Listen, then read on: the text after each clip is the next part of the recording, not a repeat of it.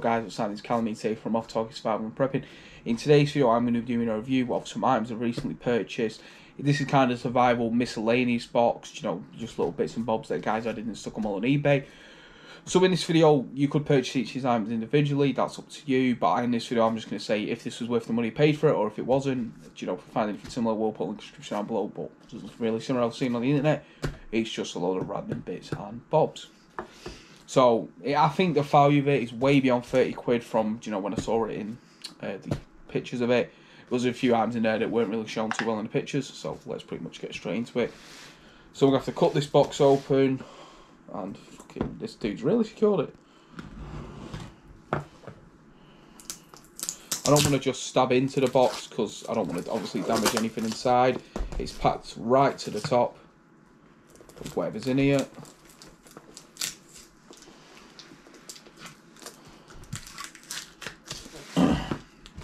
I've got to be careful to cut in a certain area as well because I did have to. The uh, red tape you'll see on this is my personal information that I've cut, uh, that I put tape over. So obviously I'm not going to share my personal information with you guys. No, I don't trust you. I just don't know you. Can I, uh, does the box come off in two parts? Okay, you might have actually done it so it just comes off. Might be that kind of box.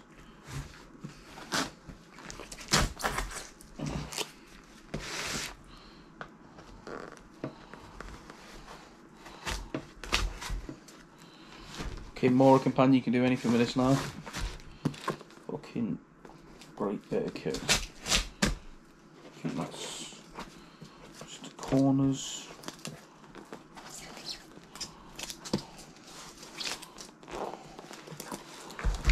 See, I don't want to put my hand there, but I need to hold it. There we go, right. Right there. Let's go over the items on the inside. I think we've only got that corner off, there we go. It's a bloody struggle to open this. Right. So now we'll pretty much just get the items out from top to bottom. So first thing we've got here, there's just some other things in there we'll just put there for now. But the first thing we've got here is a Webtex military products. Just says in there, this is a collapsible wash bowl. Something you can put water in, you know, something like that. It's a collapsible bowl. Uh, a lot bigger than it looked on the picture. It looked a lot smaller on there. So well, I've just got a bit of a, just getting over a cold at the moment, guys. But yeah, so we've got collapsible Webtex bowl. We have got uh, the items that we're in there.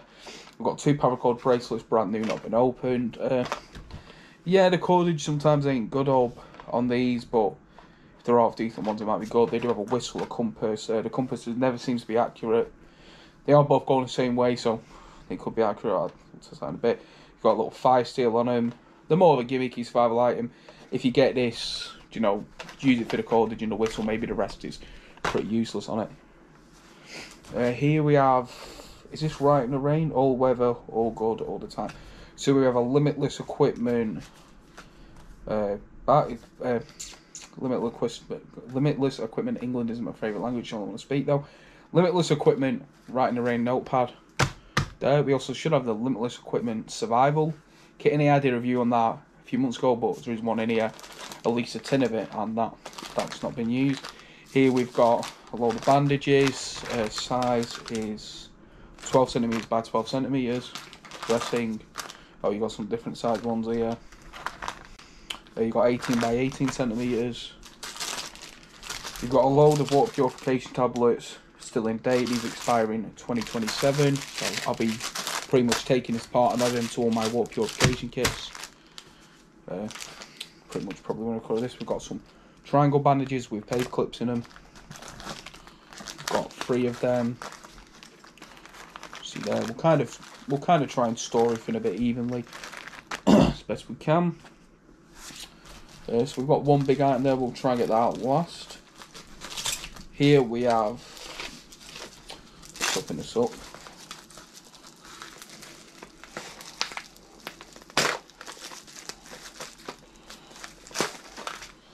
Here we have survival of the finest, of the fittest, sorry. Gentleman's Hardware survival tin. So we've got in here, we'll just give a quick overview of it. Now you've got a little multi-tool. Got a fire steel, you've got some really heavy duty paper clips, a little wire saw, some cordage. Uh, well, it actually gives you a list of items here, so yeah, plus everything is there. Uh, I'll probably do a separate little review on this, so I'm just going to give you an overall thing, but we'll go all the items. A little five minute video in the future at some point.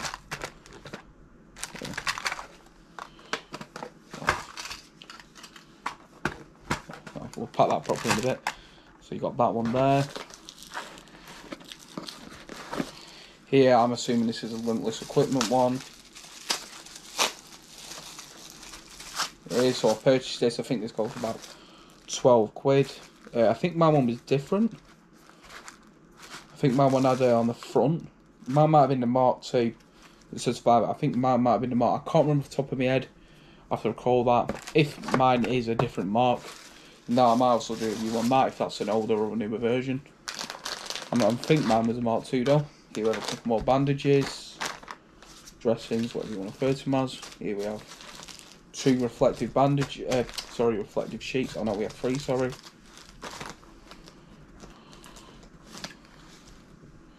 Our waterproof plasters. Like them one of my medical kits. And I think that is everything. And then we have just got this here, we will get out the bag. Uh, the box, I could probably reuse that. I probably will put actually most of this back in off screen and then get it out when I need so. Obviously I'll probably keep the water station tablets out and some other things I might use. So, can I just get this apart without the knife? Can. Oh, this is the bag. I forgot there was a bag in here. Right, oh, something stuffed in there. Oh, there we have a magnifying glass. So you could use that, you know, you can use five size. I've never used that method. Uh, but obviously you can use this for wounds, for looking for things, stuff like that. It's a magnifying glass. Oh, here. Is that all that else is in here before I get this out?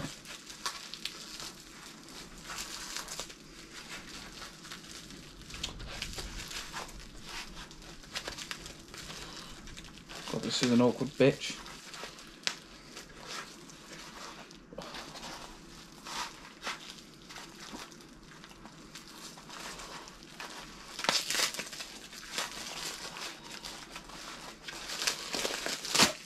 It's all just like taped up there. There you go. So we have a Garber. Gerber? Garber? Is that a G? I don't think that's Gerber. Garden. Garden gear, sorry. It was I was reading it fucking incorrectly. So we have uh, a you know collapsible saw. Probably more of a pruning saw. I don't know the quality of this. It doesn't seem cheap or flimsy. I did think it was a Gerber there for a second, but actually says garden gear. But, yeah, a collapsible saw nonetheless. To the side, uh, we'll just, I'm not probably not going to find any use for this, so we will just leave it in there like that. And then let's get this back out. See how big it is? So it must have been the angle where he, he took these photos from. Oh, I'll just rip this. Oh, I'm not, might not rip. I have ripped this zip, Ziploc bag there. So I don't like this. I like Ziploc bags.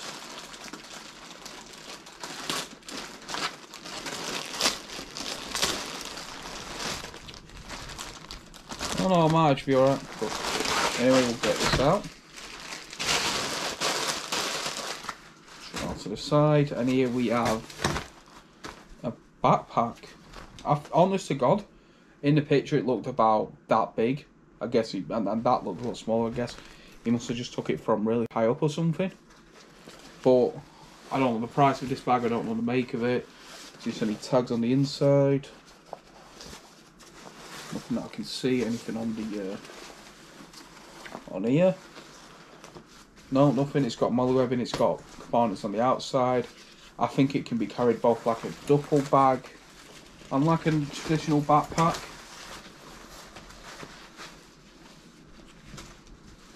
Um, it's fairly big as well. It's not a small bag. It's probably like 60 litres. I'd say 40, 60 litres. Um, kind of awkward fucking trying to review it. Uh, it's fairly wide, but nothing, nothing of the make on it. It could just be a knockoff brand. It doesn't feel cheap or flimsy. It doesn't feel highest quality. 100% definitely not. But I'm sure I'll find use now, guys, we are going to do a quick valuation and say the quality of the items, overall quality of the kit. Uh, so here we have at least ten pounds worth of medical qu- equipment. You know the bandages, plasters, all the other bits and bobs. I'd give that at least ten pounds valuation. That's a tenner. Uh, then we have the pure water purification tablets. I would probably value them at ten pounds again, maybe a bit more, maybe a bit less. I've not looked at the exact price, but I know that you can buy out of date ones for like a quid online. You know, or just in date. These don't go out of date till 2027, so I'm going to say I'd probably pay at least 10 to 12, maybe even 20 pounds that, but we'll round it down to a tenner. So I'm not going to look online, but 10 pounds worth of water purification tablets there. Uh, the salt, it's not a major brand. I thought it was Gerber, but it's just Garden Gear. Probably a fiver, so that's 25 pounds worth of bits and bobs there. The two survival kits, I value each above a 10 pounds, but to make it simple, we'll give them each 10, so that's 20 pounds there. So that's 10, 20, 40 pounds there. So we are already over the valuation of what I paid for this. Each of them survival kits, I, I know for a fact that the limitless equipment one is worth more than tenner, and that one I would say is probably a similar valuation. Um, we have the writing Rain notepad. for the sides of it, I'd probably say that's worth a fiver itself. Then we've got these. We're just pretty much going to call this grade on top. I'm not going to try and evaluate that item. The uh, collapsible bowl thing, collapsible bucket, really more so, probably about a fiver itself. It's Webtex, which is a decent brand from what I can remember. I've got a few Webtex items, all seem high quality, so give, we'll say about five pounds at least. Magnifying glass again, we'll just call that gravy on top, so we'll round that up there, probably about five's worth of items. So that's 10. We had, I think, 40 there, with 45 we had here. Add another 10 there, so that's 55. I'd say, you know, we'll round it. We'll call that about forty-five. Uh, there, we'll call that forty-five. I'm under. I'm lowballing it there, just giving it underestimating it. This, the backpack. I don't know the value of it. I don't know the quality. I don't. There's, there's no make on it. But still, it looks to be about sixty liters. It's you know a drop-in bag. It's got compartments on the outside. I'd probably value this at at least twenty pounds. It does seem decent quality. Nothing to write home about, but it's definitely not cheap and flimsy. So I would say in items here, I've got at least 55 to 60, and that's lowballing it again. I'd say I could probably sell all this on if I chose to for about 60 quid selling them individually. You know, each of them at £10, maybe 8 because they're second hand. So I'll give it £60 worth of value. I paid 30 so I've doubled my value on my purchase pretty much. Now, quality, not one single item here, with the exception of these paracord bracelets, because I just personally don't trust them from personal experience is high quality. You know the bandages or the medical stuff, decent quality, nothing to write home about again, but it will all work. It will do its intended function. The Rite in the Rain notepad will be adding that into one of my kits. I'll be adding that into one of my kits. That I probably might replace uh, one of my uh, you know swords in one of my other kits. But I find a use for everything. That's basically what I mean. So yeah, I definitely am going to give this five stars for quality and value. Not one thing that I, that I will not recommend buying on its own, except for maybe the bracelets. But like I said, personal experience. So that's pretty much more for this video, guys. Hope you leave a like, all that good stuff. Uh, really good items. More or less it. Peace.